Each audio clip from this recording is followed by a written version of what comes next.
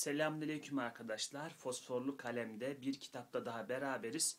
Ee, bugün size tanıtacağım kitap Cemil Meriç'in Umran'dan Uygarlığası.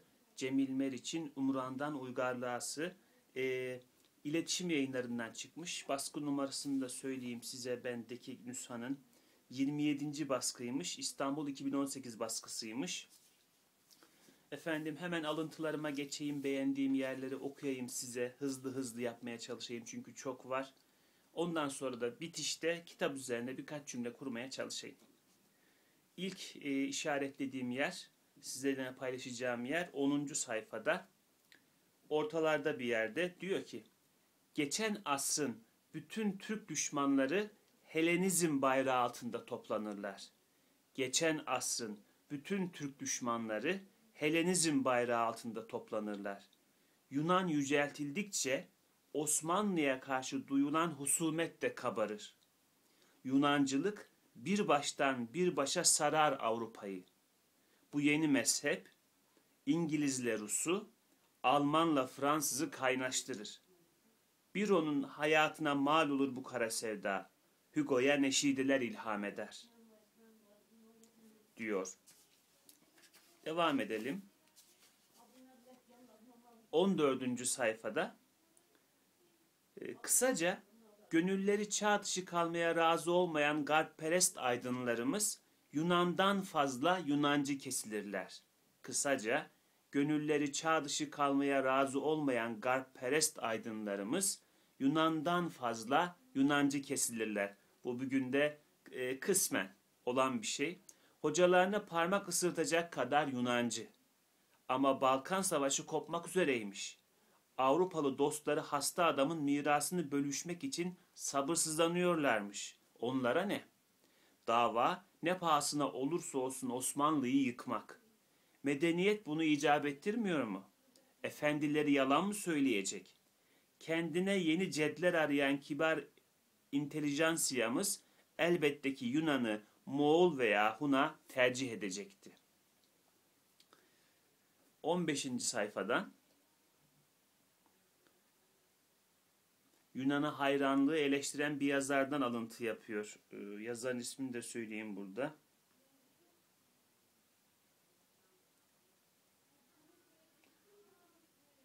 Yazarın adı yok. Kitabın ismi var. O zaman sadece cümleyi okuyayım. İnsanlık en rezil çocuğuna düşkün çılgın bir anne. Yunan hayranlığını, düşkünlüğünü böyle tarif etmiş o yazar. İnsanlık en rezil çocuğuna düşkün çılgın bir anne. Devam ediyoruz. Devam ediyoruz. Ee, 23. sayfadan bir paragraf. Marx'ın hayalleri gerçekleşmedi Weber'in kahramanları da ufukta görünmüyor. Sanayileşme, Pandora'nın kutusu, Batı uygarlığı, hasretini çektiğimiz o peri suret, hakikatte kart bir Janus. Her iki çehresi de abuz, her iki çehresi de tehditkar. Diyor Cemil Meriç. Ee, 25. sayfa, çağdaşlaşma üzerine güzel bir eleştiri. Ee, şuradan bir yerden alayım. Çağdaşlaşmanın kıstasını ha, şöyle yukarıdan daha yukarıdan alayım. Çağdaşlaşmak karanlık, kaypak, rezil bir kavram. Çağdaşlaşma karanlık, kaypak, rezil bir kavram. Rezil çünkü tehlikesiz, masum, tarafsız bir görünüşü var. Çağdaşlaşmanın kıstası ne? Hippilik mi? Bürokrasi mi? atom bombası imal etme gücü mü? Çağdaşlaşmak elbette ki Avrupalılaşmaktır. Avrupalılaşmak yani yok olmak. Avrupa bizi çağ, çağdaş ilan etti diyor cümle ama buranın gelişi çağ dışı olması lazım. Çünkü aşağıda da şöyle diyecek. Bu çağ dışı ithamı diyecek. Herhalde bir galat olmuş ya dizgiden ya da başka bir sıkıntı olmuş yani bu cümle böyle olmamalı. Avrupa bizi çağ dışı ilan etti. Doğrusu bu şekilde olmalı. Avrupa bizi çağ dışı ilan etti. Avrupa, daha doğrusu onun yeni simsarları. Zira apayrı bir medeniyetin çocuklarıyız. Düşman bir medeniyetin, bambaşka ölçüleri olan, çok daha eski, çok daha asil, çok daha insanca bir medeniyetin. 200 yıldır bir anak anakronizm utancı içindeyiz. Sözüm ona bir anakronizm. Bu çağ dışı ithamı, ithamların en alçakçası ve en abesi. Haykıramadık ki aynı çağda muhtelif çağlar vardır. İla ahir metin devam ediyor. Güzel bir eleştiri var burada bu çağ dışı ithamına. Biz neden çağ dışı oluyoruz diyor yani. Bunu hangi dayanaklarla söylüyorsunuz? Sizin çağdaş olduğunuzu e, ispatlayan ne? Acaba bu argümanlar sarsılmaz argümanlar mı? Şöyle bir acaba desek bir şeyler çıkmaz mı? Zaten Cemil Meriç'in genel e, üslubu tarzı içinde batıya karşı bir dik duruş her zaman var arkadaşlar. Çok dindar birisi olmayabilir Cemil Meriç. Ancak kesinlikle ayakları bu topraklara basıyor konuşurken. Yani topraklarına çok özgüveni var. E, kültürüne çok özgüveni var. Kendisine gelen mirasa, tarihi mirasa özgüveni var. Ve batıyı da iyi bildiği için sağlam hesap gör, görüyor, soruyor.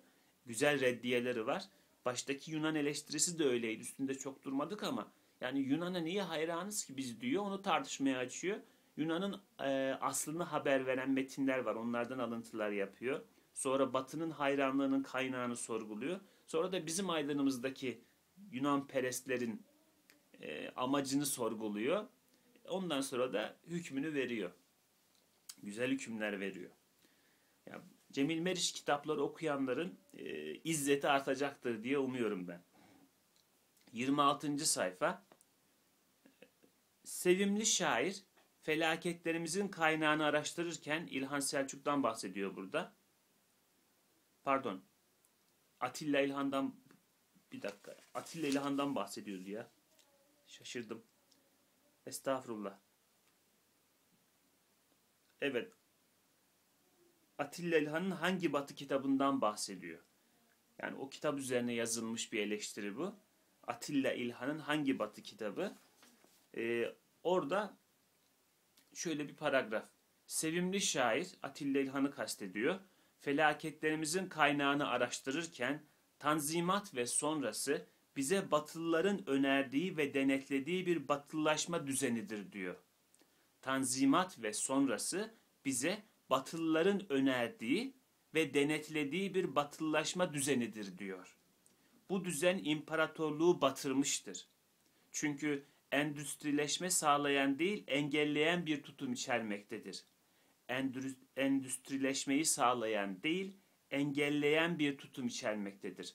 Türkiye'ye teklif edilen, Osmanlı'ya teklif edilen batılılaşma tanzimattan beri Osmanlı'nın diyor sanayisinin gelişmesine izin vermiyor. Başka bir tarzda batılılaşma öneriyor. Şüphe mi var? Dört kıtayı sömürerek palazlanan kapitalizm canavarı bindiği dalı, dalı kesecek değil ya. Dört kıtayı sömürerek palazlanan kapitalizm canavarı bindiği dalı kesecek değildi ya. Yani bizi kendine rakip mi edecekti yetiştirip, bizi de geliştirip? Elbette öyle bir niyeti yoktu diyor. Sonra hatalarımızın altını çiziyor İlhan. Bir kere yaptığımız batılılaşmak değildi. İkincisi batı bizim sandığımız gibi değildi. Üçüncüsü batının ulaştığı yer özenilecek bir yer değildi. Arkadaşlar çok kıymetli bir cümle. Tekrar okumak istiyorum. Atilla İlhan söylemiş bunu. Bir kere yaptığımız batılılaşmak değildi. İkincisi batı bizim sandığımız gibi değildi. Üçüncüsü batının ulaştığı yer özenilecek bir yer değildi. Geçiyoruz 27. sayfaya. Burada aydınlar üzerine bir eleştiri var. Ee, şöyle yukarıdan alayım da biraz daha iyi olur. Genç Osmanlılardan genç sosyalistlere kadar bütün Türk aydınları bir hıyanet psikozu içindedir. Bu bir alın yazısı mı?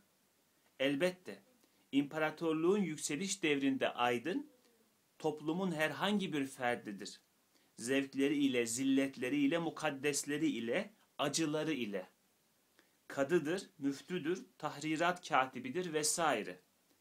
Toplumun herhangi bir ferdiyle aynı camide namaz kılar, aynı kahvede dinlenir, aynı sofrada yemek yer. Ne imtiyazı vardı ne imtiyaz peşindedir. Tanzimattan sonra durum değişir. Aydın kendi tarihinden koptuğu ölçüde aydındır. Tanzimattan sonra durum değişir. Parantez içinde biz bir artık koyalım. Artık aydın kendi tarihinden koptuğu ölçüde aydındır. Kendi tarihinden yani kendi insanından. Batının temsilcisi olduğu ölçüde aydın. Batı medeniyetine bağlanmak, deri de, e, pardon. Batı medeniyetine bağlanmak deri değiştirmekle olmaz. Daha köklü, daha uzvi bir istihale gerek. Aydın bu istihaleyi başardığı yani ihanette muvaffak olduğu ölçüde benimsenir batı tarafında. Padişah halktır. Gerçi o da hastalığa yakalanmıştır. Frengi hastalığına ama yine de halk. Baba Ali Reşit Paşa'dan itibaren Avrupa'yı temsil eder. İla ahir bu metin devam ediyor. Yine enfes bir eleştiri. 28. sayfadan e, halk maziye çivili. Bu ahmakça bir taassup değil. İnsiyaki bir nefis müdafası. Halk maziye çivili. Bu ahmakça bir taassup değil. İnsiyaki bir nefis müdafası. Aydınların ihanetini biliyor. Korkuyor ve sızıyor ki hayatını idame ettirmenin tek şartı hareketsizlik. Bir başka lisan konuşmaktadır aydınlar. Halktan nefret etmektedirler. Diyor ve devam ediyor bu metin. Ee, uzatmayayım ben. Ya da şurayı da okuyayım pardon. Padişahı kendilerine dünya zevklerinden ayıran bir hail olarak görmektedirler. Padişah olmasa Avrupa'nın emrinde ve Avrupa'nın inayetiyle Türkiye'yi kendileri yönetecek. Kalabalığa savaş hazırlamak mı? Ne savaşı? Kalabalık Kaliban'dır. Sevimsiz, pis, ahmak Kaliban. Devamında okumuş olduk, dayanamadık. Ee, 30. sayfadan tek cümle okuyacağım. Avrupa'nın yazdığı tarih, Hristiyan Avrupa'nın gururunu okşayacak bir masallar yığınıdır. Avrupa'nın yazdığı tarih, Hristiyan Avrupa'nın gururunu okşayacak bir masallar yığınıdır. Yine güzel bir tek cümle var. Aslında bir iki cümleyle okumam lazım çünkü e, kimin söylediğini de anlamanız için 30. sayfa. E, yazarın adını anlamamız için biraz öne gidelim. Baytekin diyor da ha şöyle yine Atilla İlhan'ın kitabının içindeymiş bu. Ee, ikinci bölümde geçiyormuş. Diyor ki asırlık bir faciayı üç kelimeye hapsetmiş. Asırlık bir faciayı üç kelimeye hapsetmiş. Uşaklaşmayı uygarlaşmak sanmak. Uşaklaşmayı uygarlaşmak sanmak. Bizim faciamızın özeti bu diyor. Uşaklaşmayı uygarlaşmak sanmak. Ne güzel. Olay güzel değil de ifade edilişi güzel yani. Şurada da güzel bir tespiti var yine ama Atilla İlhan'dan alıntı. Ee, Batı kanunlarının temeli Hristiyanlıktır. Ama yok bunu pardon bunu Fransız birisi söylüyor galiba. Meternik böyle mi okunur? Fransızca kelimeler pek böyle okunmaz ama yazılışı buna benziyor. Birden Meternik'in öğüdünü hatırladım. Tarihin derinliklerinden gelen bir dost sesi diyor. Ee, o nerede söylemiş bunu? Dipnot var mı? Yok. Ha varmış. O La Türkiye Ettele Tanzimat diye bir kaynakta geçiyormuş. Neyse. Biz Cemil Meriç'in tercümesini okuyalım. O yabancı yazar diyormuş ki bir asır önceden. Devlet-i aliye günden güne zayıflamaktadır. Niçin saklamalı? Onu bu hale düşüren sebeplerin başında Avrupalılaşma gelir. Bunu bir yabancı söylüyor bakınız. Bir Fransız. Temellerini 3. Selim'in attığı bu zihniyeti, derin cehaleti ve sonsuz hayalperestliği yüzünden 2. Mahmut son haddine vardırır. Babali'ye tavsiyemiz şu. Hükümetinizi dini kanunlarınıza saygı esası üzerine kurun. Babali'ye tavsiyemiz şu. Hükümetinizi dini kanunlarınıza karşı saygı esası üzerine kurun. Zamana uyun, çağın ihtiyaçlarını dikkate alın. İdarenizi düzene sokun, ıslah edin. Ama yerine size hiç de uymayacak olan müesseseleri koymak için eskileri yıkmayın. Batı kanunlarının temeli Hristiyanlıktır. Türk kalınız. Avrupa'nın şartları başkadır, Türkiye'nin başka. Avrupa'nın temel kanunları Doğu'nun örf ve adetlerine taban tabana zıttır. İthal malı ıslahattan kaçının. Bu gibi ıslahat Müslüman memleketlerini ancak felakete sürükler demiş o Fransız yazar. Yani biz bugün bile bunu kendi aydınımıza anlatamayız ya. Evet arkadaşlar geldik 35. sayfaya. Ee, şöyle bir yerden alayım okuyayım onu da. Dış meseleleri hal yoluna koyarken iç meseleleri de ihmal edemezdik.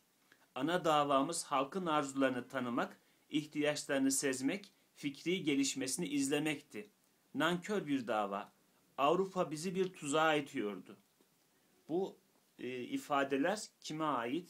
Cemil Meriç'in kendisi değil. Bu tercümesi onun. Asıl e, Ali Paşa'ya ait bu ifadeler. Ali Paşa'dan alıntı yapıyor Cemil Meriç. Onun isabetini ifade etmek için. Dış meseleleri hal yoluna koyarken iç meselelerde ihmal edemezdik. Ana davamız halkın arzularını tanımak, ihtiyaçlarını sezmek, fikri gelişmesini izlemekti. Nankör bir dava. Avrupa bizi bir tuzağa itiyordu. Avrupa bazı ütopyacılar ve bir takım kısa görüşlü diplomatlar. Bunlara göre hiçbir hazırlıkta bulunmadan hemen Avrupa örf ve adetlerini memlekete sokmak ve Avrupa'yı bir hükümet kurmak lazımdı. Bu taleplerden yerinde bulduklarımızı uyguluyorduk. Ama iyice ölçüp biçtikten sonra asarsıntıları önleyerek önce yurt menfaatlerini düşünüyorduk. Avrupa'nın her istediğini yapar gibi görünüyorduk. Bu teklifler umumiyetle caziptiler. Ama bizim için değil, kendileri için. Bunların hepsini kabul etsek mahvolurduk. Ama bu bunu Avrupa'ya anlatmak güçtü ve ihtiyatsızlık olurdu diyor. Yine Hüseyin Ali Paşa'nın e, Fransız ziyaretçisine yaptığı bir konuşmayı tercüme ediyor. Onu da şöyle bir yerden geleyim. Banka açmalıymışız. Fransız mektebi, Fransız lisesi kurmalıymışız. Ne işimize yarayacak bütün bu müesseseler? Yabancılara mülkiyet hakkı tanımalıymışız. İngiltere'den daha liberal olmamız isteniyor. Bunları kabul etmek Türkiye'yi parçalamak demek. Tereddüt gösterince sui niyet sahibiniz diyorlar. İntihar etmek istemiyoruz o kadar. Türkiye değişmeli amenna. Ama bu değişiklik kendi eserimiz olmalı. Ağır ağır gerçekleşmeli, yürümeliyiz, kabul, acele etmeliyiz, doğru. Ama süratin de bir hududu var. Kazanları patlatmamalıyız. Hüseyin Ali Paşa'ya rahmet olsun. Efendim 40. sayfaya geldik.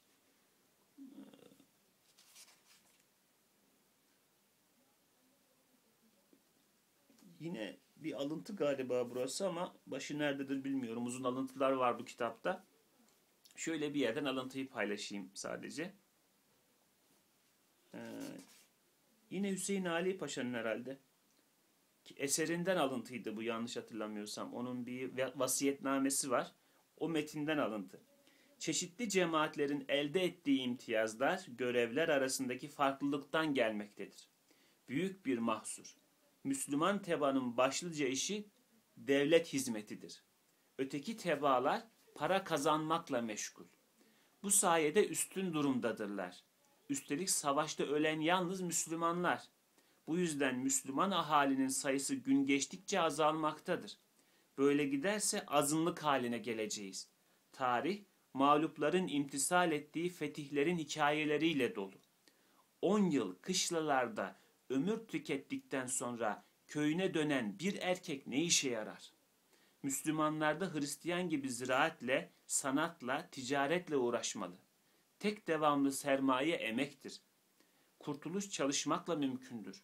Müslümanlar Hristiyanların inhisarındaki mesleklere el atmalı. Hristiyanlar da nüfusları nispetinde devlete asker, subay, memur vermelidirler. Diyor Ali Paşa. E, biliyorsunuz Bediüzzaman Hazretleri'nin münazaratta da aynı bu sözlerin bu manaları tekrar ettiği metinler var. Onu ben bir yazı yazıp yazı yapıp e, Cemaatsiz Nurcu blogumda yayınlamıştım. 41. sayfadayız. E, bu da güzel bir paragraf. Hepsini okuyayım. Basın hürriyeti gene Ali Paşa'nın. Ali Paşa'nın çok enfes tespitleri var arkadaşlar. Çok ileri görüşlü bir siyasi olduğu anlaşılıyor. Basın hürriyeti ancak hatalarını düzeltmek istemeyen hükümetler için bir tehlikedir. Basın hürriyeti ancak hatalarını düzeltmek istemeyen hükümetler için bir tehlikedir. Sizin hükümetiniz yurdun iyiliğinden başka bir şey düşünmüyor. O halde böyle bir hürriyet onun için bir nimettir. Bir milletin düşüncesini baskı altında tutmak, onu bir takım gizli yollar aramaya zorlar. Eninde sonunda bulur bu yolları. Hürriyetsizlik her türlü fesadı kolaylaştırır. Benim çizdiğim yerde burası. Hürriyetsizlik her türlü fesadı kolaylaştırır. Devletin güveni tehlikeye, tehlikeye girer, zora başvurmak gerekir. Basın hürriyeti kötülükle savaşmak ve faydalı olmak isteyen her hükümetin tabii müttefikidir diyor ve devam ediyor. Evet arkadaşlar başka bir yazıya geçtik şimdi de. İlerliyoruz. İşte buraları çizdiklerim azalmış. 53. sayfaya geldik. Ee, şöyle bir yerden başlayayım okuyayım. Bir kelimeyle Avrupa'nın Millet Meclisi'nden beklediği görevi İslam dünyası ulema ve vükelaya yüklemiştir. Bir kelimeyle Avrupa'nın Millet Meclisi'nden beklediği görevi İslam dünyası ulema ve vükelaya yüklemiştir. Teftiş ve murakabe İslam'da Avrupa'dan çok daha mühimdir. Teftiş ve murakabe İslam'da Avrupa'dan çok daha mühimdir. Çünkü yalnız dünyevi bir yükümlülük değil, dini bir vecibedir de. Süleyman kanunnamesine riayet edildiği müddetçe devlet-i aliye yükselmekte devam etmiş, bu kanundan inhiraf, inkırazın başlangıcı olmuştur. Paşa, ülkenin idbarını nizamı kadimin bozuluşuna bağlar. Hangi paşaymış? Hayrettin Paşa'ymış. Yanlış görmüyorsam.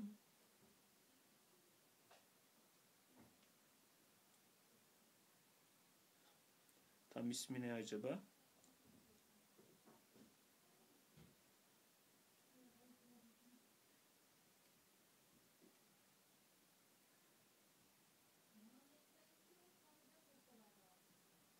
Yani tam ismi yok. Hayrettin Paşa diye geçiyor. Ama o şey Hayrettin Paşa değil yani. Barbaros Hayrettin Paşa değil onunla karıştırılmasın. Tunuslu bu. İslam dünyası ulema ve yükelaya yüklemiştir. Teftiş ve murakabe İslam'da Avrupa'dan çok daha mühimdir. Çünkü yalnız dünyevi bir yükümlülük değil, dini bir vecibedir de. Süleyman kanunnamesine riayet edildikçe, edildiği müddetçe devlete aliye yükselmekte devam etmiş, bu kanundan inhiraf, inkırazın başlangıcı olmuştur. Paşa, ülkenin idbarını nizamı kadimin bozuluşuna bağlar.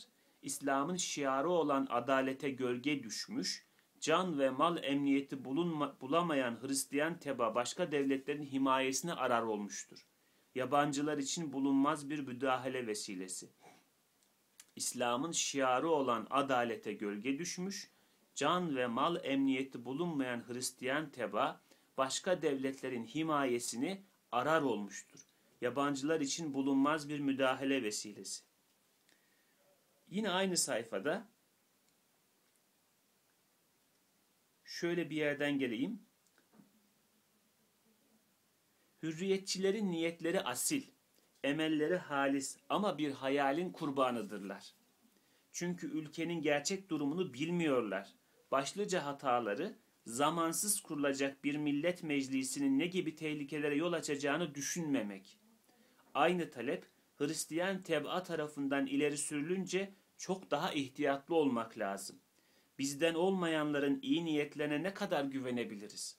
İstenilen hürriyetlerin verilmesi gayrimüslim teb'anın gizli emellerine hizmet etmek olmaz mı? Siyasi hürriyet demek teb'anın bütün haklardan eşit olarak faydalanması demek. Böyle bir eşitlik ehliyeti olan herkesin en yüksek makamlara çıkabilmesi demek. Siyasi hürriyet iyi ama önce devletin bekası. Bu hedefte birleşiyor muyuz? Vasıtalar, vasıtalar üzerinde ayrılsak da beis yok diyor ve devam ediyor. Bediüzzaman Hazretleri'nin de mesela gayrimüslimlerin valiliği, kaymakamlığı gibi mevzularda söylediği var. Bu onun sanki tersini savunuyormuş gibi Ama demek ki dönemin şeyleri bunlar. E, tartışmaları nasıl olacak, ne yapılacak o konuda konuşuyorlar. Bak burada tam tersini söylüyor. Yani dikkatli olmamız lazım onlara bunları verdiğimiz zaman bunun sonuçları olur diyor. Bediüzzaman Hazretleri tam tersini söylüyormuş gibi münazaratta ben öyle anlıyorum. 55. sayfa. Ee, şöyle bir yerden başlayayım.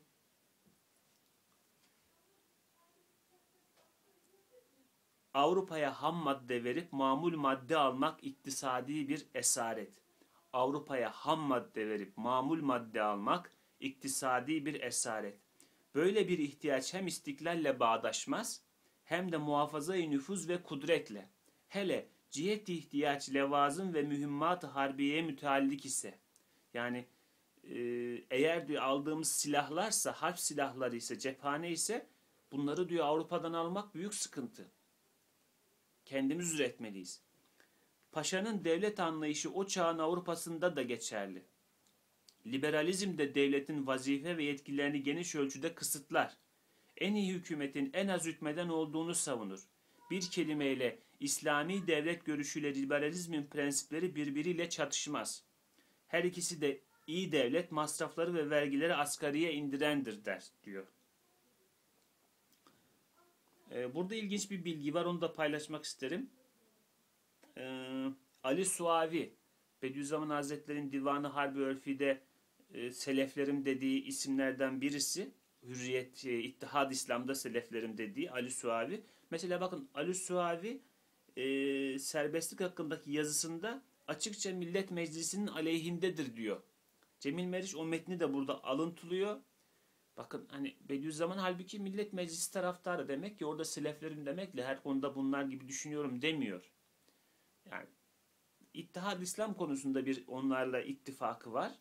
Onun dışındaki mevzularda anlaşamadığı konularda olabilir ki zaten e, mesela oradaki isimlere baktığınız zaman bunların ehli sünnet bir alimle Bediüzzaman Hazretleri ile anlaşamayacağı çok noktalar var. Hele Cemalettin Afgani'nin.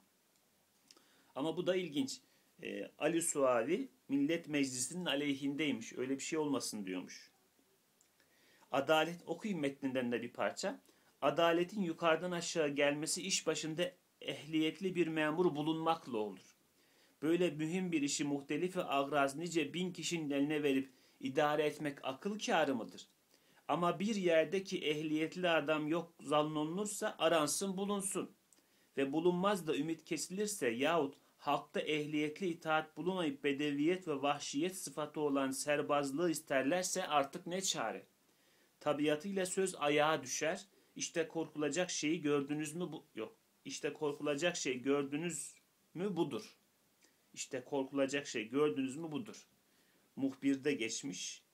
E, dipnottan sayfa numarası falan filan da verilmiş. Devam ediyoruz arkadaşlar. 60. sayfaya geldik. Ee, Leroy Fransızların hafızasından şikayetçi. Biz ne diyelim? İrfanımızı maziye bağlayan köprüleri berhava ettik. Millet hafızadır. Her nesil fetihlerini kendisiyle beraber mezara götürüyor. Yarım asır önce yazılan hakikatleri yeni yeni keşfediyoruz. 61. sayfa. Ee, burada bir alıntı yapıyor ama kimdir nedir? Herhalde Leroy'dan yapıyor. Oysa kendileri Batı medeniyetin baskısı altında kişiliklerini kaybederek, ha yok pardon, Leroy'dan yapmıyor. Burhani fikrimizden yapıyor. Burhani fikrimizden yapıyor. Oysa kendileri Batı medeniyetinin baskısı altında kişiliklerini kaybederek aşırı bir Batı hayranlığına yakalanmışlardır. Milletin kurtuluşunu bu marazi düşkünlüğü memlekete yaymakta buluyorlar. Yaptıkları düşüncelerde türlü buhranlar yaratarak yurdu karanlık meçhullere doğru sürüklemek, özellikleri içindeki içinde yaşadıkları çevreyi boyuna kötülemek. Bugün bunlardan da çok yok mu böyle aydınlardan? Sürekli milleti kötülemek, beğenmemek, işte bizim insanımız böyle, bizim şeyimiz böyle, biz adam olmayız falan dili. Aynı şeymiş demek. O zaman da varmış. Özellikleri içinde yaşadıkları çevreyi boyuna kötülemek. İzah ve ispat edemediği için itham, anlayamadığı için inkar eden ümitsiz bir kısır tenkit. Gerçeği bilmez bu aydınlar. Olması gerekeni keşfe çalışırlar. Tek amaçları vardır, toplumu yıkıp yeni baştan kurmak. Vatanlarında hiçbir manevi haz duymayanların bu vatanla nasıl bir ilgileri olabilir? Risale'ye devam edelim diyor. Yine alıntı yapıyoruz. Batıda ıslah korumak içindir. Bürhani fikrimizden alıntı bu. Batıda ıslah korumak içindir. Bizde yok etmek için. Batı perestişkarları kitapta gördükleri her hastalığın kendilerinde de olduğunu vehmeden toy tıp öğrencilerine benzerler. Kucağında yaşadıkları toplumu sıhhate kavuşturmak için kitaba sarılır, onu hayali hastalıklarla donatırlar. Ne kadar isabetli şeyler ya. Kendi tarihimiz, kendi meselelerimizle uğraşmak bir tenezzüldür onlar için. Asırlarca önce kurulmuş bir devleti, dünya tarihine istikamet vermiş bir medeniyeti küçümsüyorlar. Yeni doğmuş bir toplum sanıyorlar bizi. Bu peşin hükümle koştukları batı irfanı onları fikren muhacerete, ruhen tebdili tabiyete sürüklemektedir. Bilmek, kıyas etmektir. Kendimizi tanımayınca başka ülkelerle nasıl karşılaştırılabiliriz? Muhteşem, muhteşem. Bürhan-ı fikrimizi okumak lazımmış bu. Batı Çıkmazı makalesinde 61. sayfada geçen bir alıntıydı. Devam ediyoruz arkadaşlar. O Cemalettin Efkani dosyası bu yazıyı çok beğendim mesela. Biz de hala hatta dindarlar içinde bile Cemalettin Efkani'nin yanlış tanındığını falan savunanlar olur. Bakınız Cemil Meriç kendisi çok dindar birisi olmamasına rağmen Cemalettin Efkani'nin, Afgani'nin ya da e, izzetsizliği, batıya karşı duruşundaki zayıflık, teslimiyet üzerinden çok sağlam eleştiriler yapıyor. Bir makalesi üzerinden. Şöyle bir yerden alıp burayı okuyayım. 69. sayfa. Ee,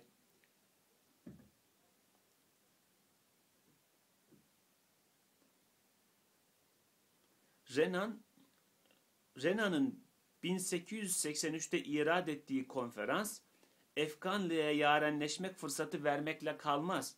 Namık Kemal'e de meşhur müdafaa namesini ilham eder. Namık Kemal'in müdafası müdafaa namesi taarruz, Cemalettin'in mektubu teslimiyet. Namık Kemal öfke ve küçümseyiş, Cemalettin terbiye ve makyavelizm. 71. sayfaya geçtim. Oradan biraz okuyayım.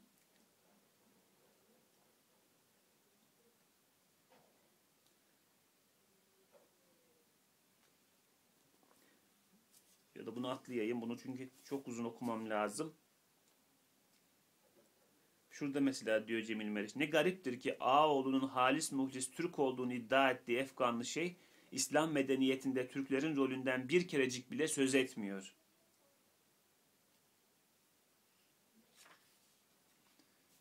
...74. sayfa... Cemalettin Efkani diyormuş ki din insana iman ve itikadı zorla kabul ettirir. Renan'a yazdığı ve Fransız gazetesinde yazın, yayınlanan makalesinden tercüme ediyor. Dinlerin felsefeyle uyuşmalarına, anlaşmalarına imkan yoktur. Cemalettin Efkani'nin sözleri. Din insanlara, din insana iman ve itikadı zorla kabul ettirir. Felsefe onu itikatlardan kısmen veya tamamen kurtarır. Nasıl anlaşabilirler? Din galip gelince felsefeyi yok edecektir felsefe hükümrana, hükümranı olunca din ortadan kalkacak. İnsanlık yaşadıkça nas ile serbest tenkit, din ile felsefe arasındaki kavga sona ermeyecektir. Kıyasıya bir savaş bu ve korkarım ki bu savaşta zafer hür düşünceye nasip olmayacaktır diyor. Ve korkarım ki ile söylüyor yani bunu. Din kazanamayacak. E, korkarım ki diyor felsefe kazanamayacak. Şeyhimiz şikayetçi diyor. Alttan bir yer okuyayım e, Efgani'nin sözü burada bitiyor. Şimdi de Renan'ın bu mektuba verdiği cevabı gözden geçirelim. Sorbon'daki son konferansımın Şeyh Celalettin'e telkin ettiği son derece dikkate değer düşünceleri dünkü gazetenizde alakayla okudum. Münevver Asyalı'nın şuurunu böylece orijinal ve samimi tecellilerinde takip etmek çok öğretici. İnsan bu sesleri dinledikçe daha iyi anlıyor ki Din ayırır, akıl birleştirir. Ve iman ediyor ki akıl tektir. İnsan zekasının birliği, düşüncelerin tesanüdünden doğan büyük ve ümit verici bir netice falan filan devam ediyor sonra. İki ay kadar önce sevgili meslektaşım Ganem vasıtasıyla şeyhi tanımıştım. Cemalettin Afgani'yi kastediyor Renan. Üzerimde pek az kimse bu kadar derin tesir yapmıştır. Sorbon'daki konferansımın konusunu ilmi zihniyet ile İslamiyet'in münasebetleri bana o ilham etmişti. Şeyh Cemalettin İslam'ın peşin hükümlerinden sıyrılmış bir efkanlıdır. Şeyh Cemalettin İslam'ın peşin hükümlerinden sıyrılmış bir efkanlıdır.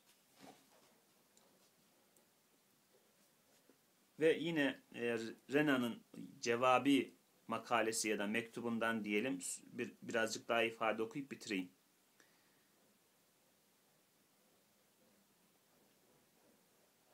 Şey bu hakikati safi derecede belirtmediğimi ileri sürüyor. Semavi dinlerin hepsi müsbet ilme düşmandır. Şeyh bu hakikati kafi derecede belirtmediğimi ileri sürüyor. Bu konudaki fikirlerim herkesçe malum olduğundan üzerinde durmadım. İnsan zihni tabiat üstü unsurlardan tecrid edilmelidir. Bunun için zora lüzum yok. Hristiyan ve İslam aydınları din bahsinde anlayışlı bir kayıtsızlık göstersinler. Yani din zararsız hale gelsin yeter. Bu Hristiyan ülkelerde gerçekleşti.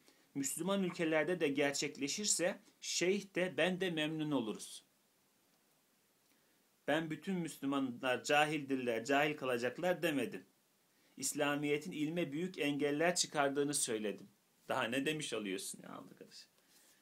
Görüyorsunuz Cemalettin Efkani kimlerle bir döşeye girmiş ya. Bir koltuğa oturmuş. 81, 82 buralarda hızlanıyoruz. Alıntılarımız azalıyor sanki. Ortalarda bir yerde alıntılarımız neredeyse hiç yok. Oralarda böyle kitabın içinden çıkamadım. 90. E, sayfa. Reklamın göklere çıkardığı ülkü israf. Reklamın göklere çıkardığı ülkü israf. Toplum çalışacaksın diyor kişiye. Dinlenmeden çalışacaksın. Sonra da aynı derecede tahripkar bir mecburiyet yüklüyor. Tüket. Yalancı bir refah dünyasının kısır döngüsü bu. İnsanın dışında bir refah bu. Düzeyde bir refah.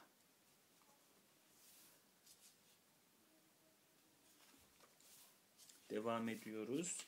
Yine hızlandık bakınız. 98. sayfa. Biz tarihçilere düşen kelimeleri halkın anladığı manada kullanmak. Bu mana geçiciymiş, aldatıcıymış olsun. Kelimelerin seyyal ve müphem olması daha daha da hoş değil. Herkes onları dilediği gibi kullanabilir. Pardon şöyle oldu. Kelimelerin seyyal ve müphem olması daha da hoş değil. Yine yanlış okudum. Kelimelerin seyyal ve müphem olması daha da hoş değil mi? Herkes onlara dilediği gibi kullanabilir. Kelimeyi vuzuha kavuşturan parçanın bütünü, kelimeyi vuzuha kavuşturan parçanın bütünü. Ayrıca e, Cemil Meriç cümlelerindeki bu devriklik insanı bazen vurguda çok şaşırtıyor okurken. Hani nereye vurgulayacağız? Hep fiille bitmiyor çünkü. Ben de çok şaşırıyorum. Ayrıca bir takım sıfatlarla da ne, ne demek istediğimizi kolayca anlatabiliriz. Maddi, manevi, ilmi tenkit vesaire. Şuradan 99. sayfadan bir cümleyi çizmişim. Batı kültürü son tahlilde mistik bir varlık, bir ruhtur. Bir kültür büyük bir ruhun uyandığı anda ortaya çıkar. Veya bir kültür onu canlandıran ruh bütün gerçekleştirebileceklerini gerçekleştirince ölür diyor yazar Spenkler. Kültürler fanidir. Programı kalmayan kültürün damarlarındaki kan çekilir, kuvveti kalmaz, medeniyet olur. Medeniyet kaçınılmaz olarak varılan bir sonuçtur. Medeniyet ölen kültürdür. İlginç değil mi? Medeniyet ölen kültürdür diyor. 101. sayfa tek bir cümle okuyayım. Din insanlığın en ciddi meşgalesidir. Din insanlığın en ciddi meşgalesidir. Devam ediyoruz. Büyücü Çırağı makalesinden 105. sayfa. Ee, onu okumayayım. Onu okursam fazla okumam lazım. 105'e geçeyim. Ee, Sombart bir buçuk asırdan beri Batı Avrupa ile Amerika'da olup bitenleri akıl erdirmek için şeytana inanmak lazım diyor. Sombart e, bir buçuk asırdan beri Batı Avrupa ile Amerika'da olup bitenlere akıl erdirmek için şeytana inanmak lazım diyor. Bizi gökten koparıp maddenin esaretine sokan o. Bizi gökten koparıp maddenin esaretine sokan o. Bu da ilginç bir şey. Bazen komple teorileri şeyi oluyor videoları internette. Hani o işte masonlar, şunlar bunlar falan o örgütler onların en başında şey diyorlar. Illuminati falan. Şeytan bizzat onları yönetiyor falan. Onunla da ilgili yani bağlanabilir bir cümle. Batı'da olanları anlamak için diyor şeytana inanmak lazım. 106. Ee, sayfadan yukarıdan bir yerden geleceğim bu sefer. İlmin son sözü ümitsizlik mi? Kosmos Tanrı'nın olmadığını mı haykırıyor? İnsan tabiattaki topyekün tekamülün anahtarı. Kendi şuuruna varan tekamül. Eskiden soyunun kainatla sona ereceğine inanıyordu. Sonra yeryüzü ile birleştirdi akıbetini. Isı değişecek, atmosfer başkalaşacak, yaşamak imkansızlaşacaktı.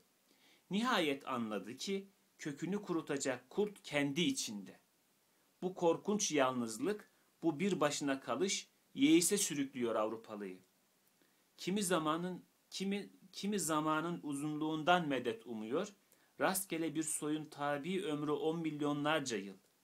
İmtiyazlı bir varlık olan insan neden çok çok daha uzun yaşayamasın? Kiminin teselli kaynağı uzaya göç. Hala var bu. Filmlere falan da konu oluyor. Ama göklerde tek misafir gelmedi ki. Böyle bir ümide kapılalım. Yani göklerden gelen giden yok ki diye böyle bir ümide kapatalım, kapılalım. Artan nüfus, boğulan insan, azgınlaşıp tahrip, azgınlaşan tahrip insiyakı.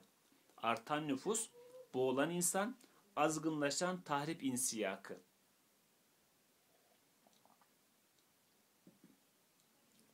Evet 107. sayfa. Çağdaş Avrupalı ya ümitsizlik ya iman diyor. Başka yol yok. Zavallı büyücü çırağı uyanışın biraz geç olmadı mı? Bu yazı güzel arkadaşlar yani güzel bir batı tenkidi içeriyor. Diyor ki intihar etmek için olduktan sonra Ay'a gitmeye ne gerek var? Ay'a gidiyoruz, Mars'a gidiyoruz, şuraya buraya. İntihar etmek için olduktan sonra diyor oralara gitmeye ne gerek var? Sonu bu diyor işin. Ee, 111. sayfa. Yaşayan her kültür yabancı kültürlere kapalıdır. Yaşayan her kültür yabancı kültürlere kapalıdır. Yalnız kendi kendini anlayabilir. Yalnız kendi insanları tarafından anlaşılabilir. Her kültür ferdin geçirdiği merhalelerden geçer. Çocukluk, gençlik, olgunluk, ihtiyarlık. Amacına ulaş, ulaştıktan, ideasını gerçekleştikten sonra katılaşır, yaratıcı gücünü kaybeder, medeniyet olur. Yine aynı sayfadan Kültürün yaratıcı dönemi dev kentlerde, megalopolis sona erer. Dev kentler bitirir diyor kültürü ilginç. Paris, Londra, Berlin ve bilhassa New York. Dev kent bir kalp değil bir beyindir. Yuvadan çok mezar. Yaşama arzusu söner dev kentte. Kadınlar çocuk yapmaz olur. Kültür çağının ehramı temelinden sarsılır. Önce zirve yani dev kent çöker, sonra taşra, nihayet köy.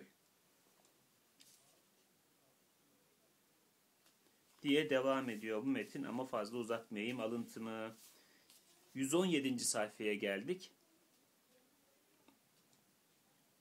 Ee, Sart'tan bir alıntı yapıyor. Sartre'den diye mi okunur? Sart'tan mı diye mi okunur? Nasıl okunur ya bu kelimeler? Bu kelimelerin okunuşunu da yazın ya şu metinlerin içine. Biz yabancı dil bilmiyoruz kardeşim. Ee, gerçi yabancı dil bilenlerde de tam bir şey yok. Tek bir okuyuş tarzı yok. Hacı'nın Galatasaray'da futbol oynadığı zamanlarda isminin girmediği şekil yoktu yani. Kaç tek şekilde telaffuz ediyorlardı. Öğrenci ayaklanmaları, sürat ve iktidar sarhoşu maddeci bir topluma indirilen ilk darbeler. Medeniyet buhran geçiriyor. Uzun zamandan beri matbuatta en sık görülen kelime buhran. Bu belki bir kültürün, belki de insan varlığının buhranı. Şikayetler boşuna. Batıda süpür, spiritualite yok artık. Batı bir kültür sefaleti içinde.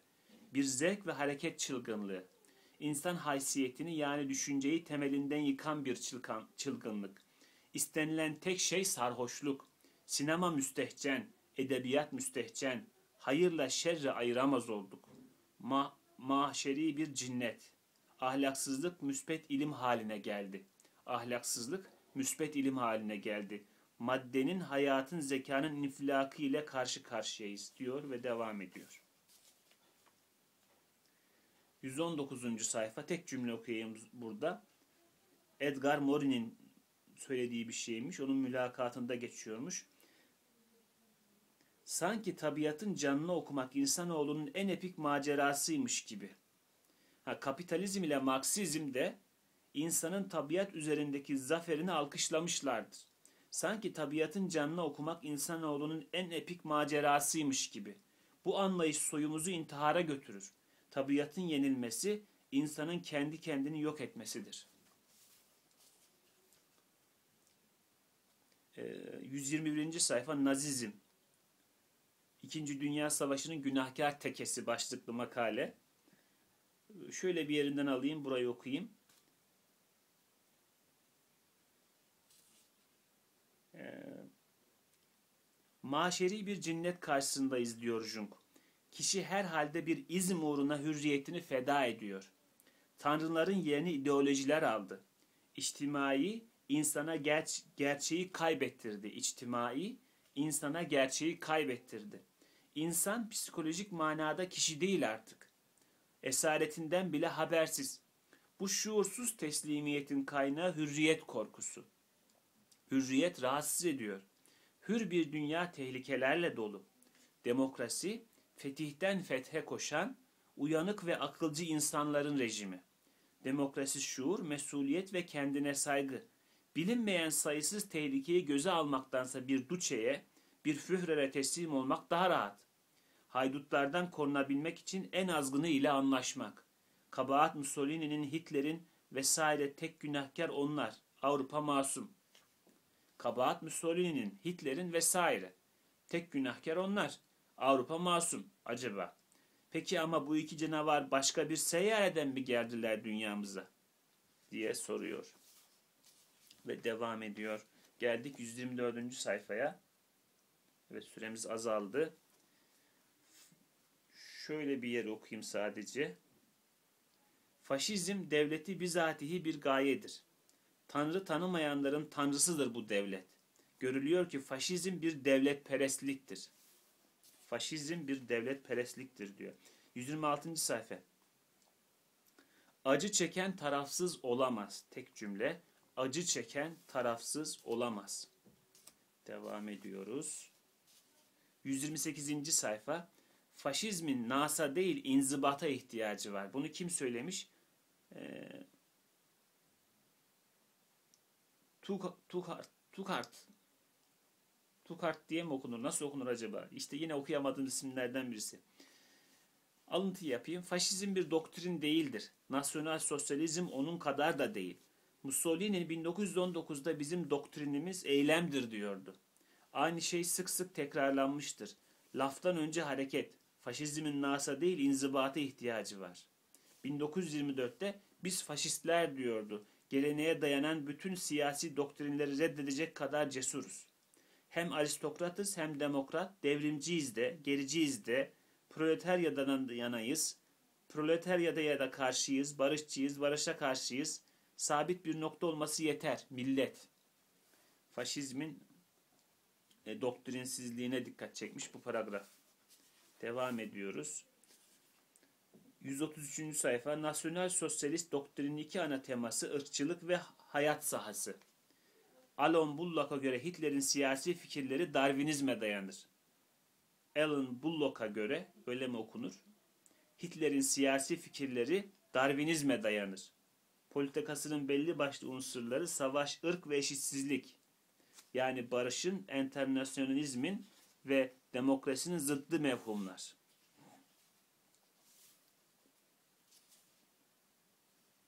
135. sayfa. Burası ilginç arkadaşlar. Ekonomiye biz bugün çok büyük değer atfediyoruz ama burada bir eleştiri var. 135. sayfası kitabın. İktisat politikaya tabidir. Öncelik politikadadır. Hitler'e göre devlet ırkı bir uzviyettir. İktisadi bir teşkilat değil. Hitler enflasyonun en şiddetli devrinde iktisat ikinci derecede bir mesele diye haykırır. Tarih gösteriyor ki hiçbir devlet ekonomisiyle yükselmemiştir. Tarih gösteriyor ki hiçbir devlet ekonomisiyle yükselmemiştir.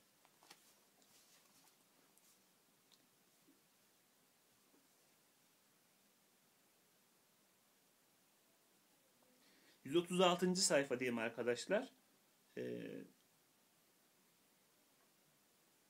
yani burada şey diyor. Latin Amerika ile yakın şarttaki ideolojiler faşist şemaya irca edilemez diyor.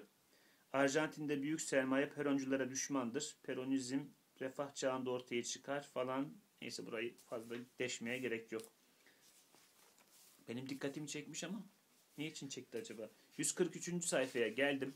Zaten vaktimiz daraldı. Kitabın bütün alıntılarını okuyamayacağız. Artık e, o kısmı size bırakıyorum. Kitap arkadaşlar güzel. Ortalar biraz şey yapıyor ama geneli güzel yani. Ortalarda ideolojiler bahsi biraz kafayı bulandırıyor. Tam oradan çıkamıyorsunuz. Ben çıkamadım yani. Ama ilk kısmı çok güzel. Son kısmı da çok güzel. İnkıraz devri aydınının farikası hazinelerinden habersiz olmak. İnkıraz devri aydınının farikası hazinelerinden habersiz olmak. Bu aydın bir ışık kaynağı değildir artık. Sırları dökülmüş bir aynadır. Batıya aksettiren bir ayna. Tek özelliği o diyor yani. Kendisinin farkında değil, sadece batıya aynalık ediyor. O da yapabildiğince. 150. sayfa. Mağluplar galiplerin adet ve müesseselerini, tak, müesseselerini taklit eder. Mağluplar galiplerin adet ve müesseselerini taklit eder. Bunu e, kim diyormuş? İbn Haldun mu diyormuş? Evet İbn Haldun mukaddimesinde diyormuş.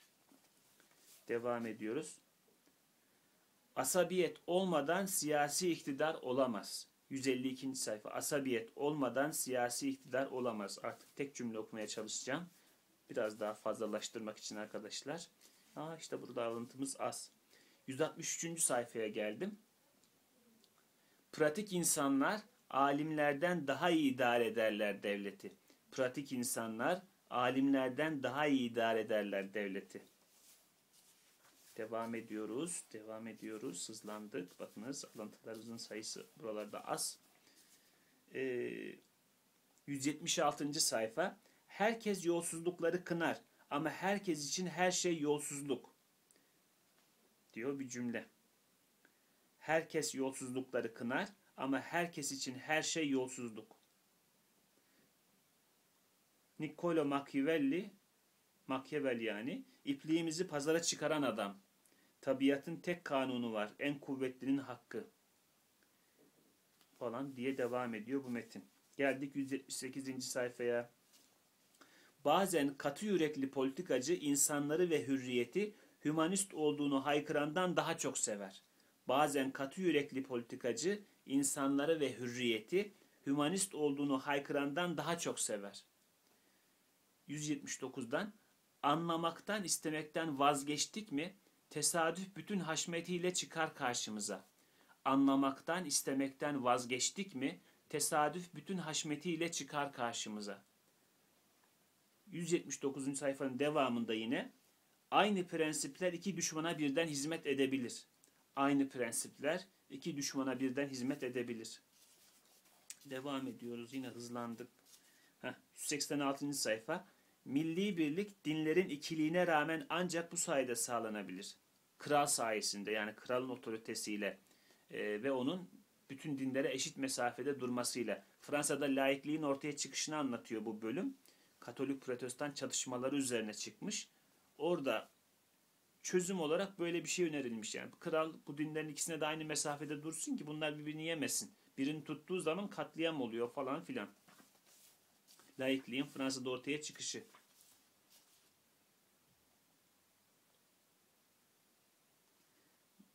Şöyle bir yerden okuyayım bunu. Egemenlik bölünme kabul etmez. Zira herkese ferman dinletecek güçtedir. Yani karşı konmadan hatta ses bile çıkarılmadan dilediğini emreder, dilediğini yasaklayabilir. Başkalarının kendi izni olmadan savaş veya barış yapmasını, vergi toplamasını, birine biat etmesini men eder.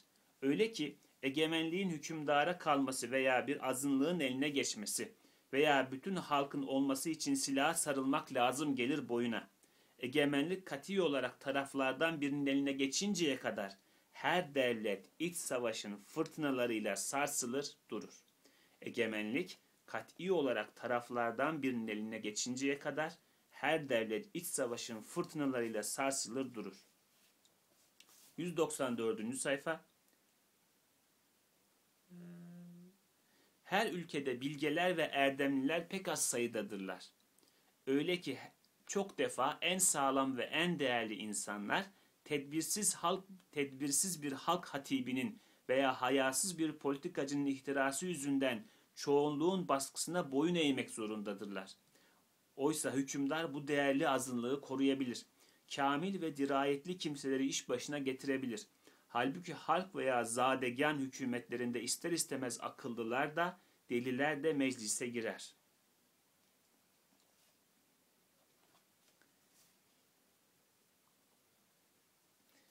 ...196. sayfa... ...bizden için bir Bodin, bir Hobbes, bir Bosot yetişmemiştir. Bosot diye mi okunur acaba?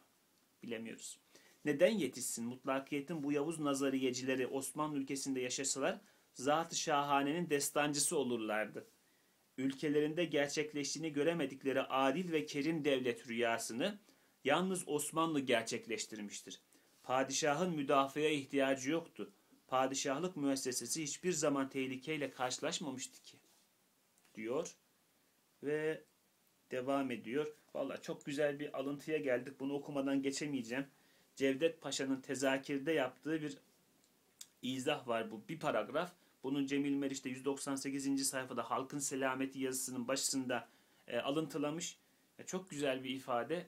Bunu alıntılayayım arkadaşlar bir paragraf. Tedbiri mülk ve emri idare hakkında mevzu olan kavaid ve şerait-i İslamiye'ye nazarı iman ile bakılır ise görülür ki bu kavaid-ü şeraite tamamıyla tevfik hareket eyleyen devlet bir taraftan adalet-u hakkaniyete en muvafık veç ile hürriyet esaslarını müştemil ve diğer taraftan hükümeti mutlakaya mahsus olan inzibat ve iktidar hususlarına mütekeffil bir hükümeti meşrua olarak siyasi yundan hiçbirinin tasavvur edemediği surette kudret-ü miknetini temin etmiş olur. Cevdet Paşa tezakirde söylemiş bunu. Böylece bu kitaptan alıntılarımızı bitirdik. Ama bakınız arkadaşlar sadece bu kadarını okuyabildik. Başta kitabın kapağını göstermemiştim. Onu da bir göstermiş olayım şöyle yüzüme getirerek. Bakınız kitap bu. Cemil Meriç'in Umran'dan Uygarlığası. Arkadaşlar tavsiye ederim. Ee, yani kitap, Cemil Meriç'in kitaplarının tamamı içinde söyleyebiliriz bunu. Okuduklarım itibariyle söylüyorum. Cemil Meriç insana izzet kazandırıyor. Müslümana izzet kazandırıyor. Bu toprağın insanına izzet kazandırıyor. Bu adam okumak lazım. Bize öyle bilgiler geliyor ki onların eleştirisinin yapılabileceğini, onların sorgulanabilir, acaba denilebilir şeyler olacağını düşünemiyoruz. O fırsat bile bize verilmiyor. Cemil Meriç bize o fırsatı veriyor, o imkanı veriyor, eleştirisini de yapıyor. Yani bunları okuyan insan, Cemil Meriç eserleri olsun, tabi daha başka birçok eser var böyle izzet kazandıran. Mesela İsmet Özel kitapları benim okuduğum itibariyle öyledir. Birçok yazarımız zaten bu mesaide bulunuyor. Tek tek isim vermeyeyim. Ebu Bekir Sifil Hoca'nın mesela eserleri öyledir. Ee, okuduğunuz zaman ya diyorsunuz bu batıya da bir şeyler söylenebilir. Öyle o bize hep parmak sallayacak diye bir şey yok. Bizim de ona parmak sallayacağımız çok şey var. Veya bir yere dayanarak konuşuyor. Aslında o dayandığı şey çürük. Bunu alt edebilmeyi, bu eleştiri yapabilmeyi, o duvarı yıkabilmeyi öğreniyorsunuz bu kitapları okumakla. O yüzden ben hep tavsiye ediyorum gençlere. Artık biz biraz da orta yaşa geldiğimiz için gençlere tavsiye ediyoruz. 40 olduk biz. Yani nasıl durmak lazım? Nasıl bir izzete sahip olmak lazım? Sadece batılı yazarların çevirilerini okuyarak değil, bu toprağa ayağının basmasını öğrenmek için Cemil Meriç gibi yazarları takip etmek, okumak lazım. Alıntılarımdan da zaten kitabın değerini anlamışsınızdır ki yarısını ancak aşağı yukarı yarısından size alıntılarımı okuyabildim.